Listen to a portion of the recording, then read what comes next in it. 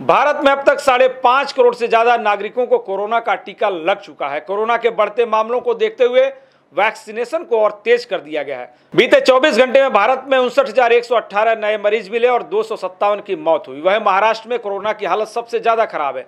यहाँ 24 घंटे में छत्तीस नए मरीजों का पता चला है जो कोरोना का बड़ा अल्टीमेटम है।